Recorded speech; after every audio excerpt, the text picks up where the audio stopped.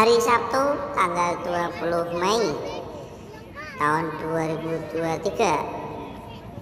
terupdate rute tol laut Semarang Sayung seksi 1 dari desa Morosari Sayung Demak.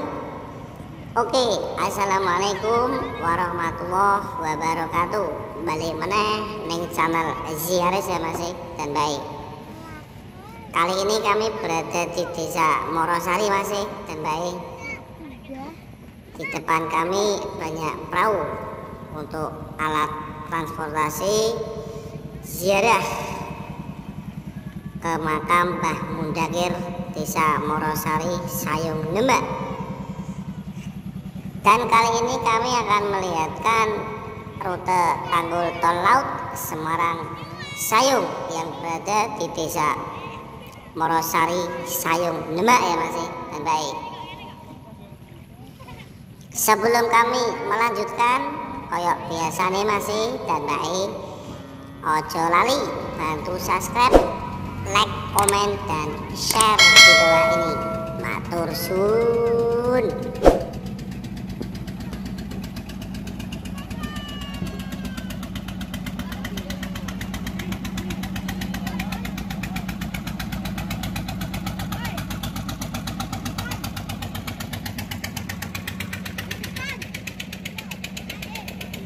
Masih dan baik kami akan menaik perahu untuk melihatkan ke tol laut Semarang Sayung seksi satu masih baik ini kami lagi naik perahu ya Jadi ini masih baik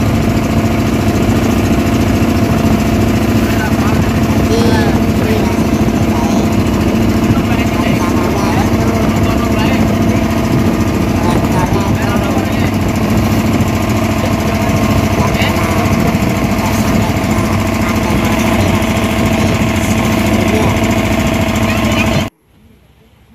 ini kami di batas rute tanggul tol laut Semarang Sayung.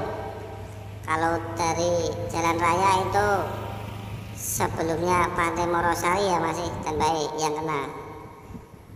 Ini kami melihatkan rumah-rumah sudah pada dihancurkan untuk proyek tanggul tol laut Semarang Sayung seksi 1 di sebelah rumah ini ada Pantai Morosari masih dan baik tapi Pantai Morosarinya itu aman. Tidak kena tanggul tol laut.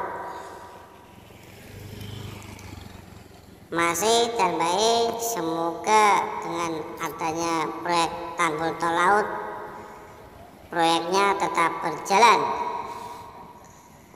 untuk membantu masyarakat biar jalan Pantura Semarang Demak tidak ada kemacetan lagi.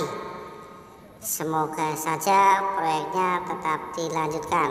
Mantap. Amin amin.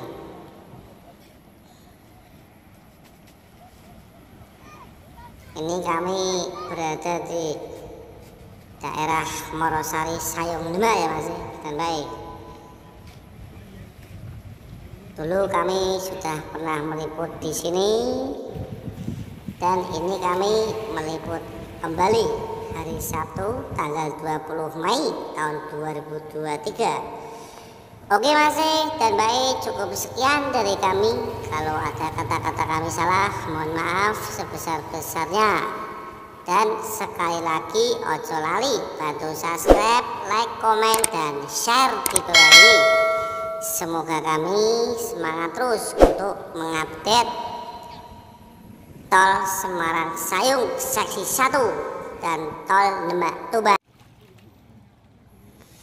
sekian dari kami Wassalamualaikum warahmatullahi wabarakatuh.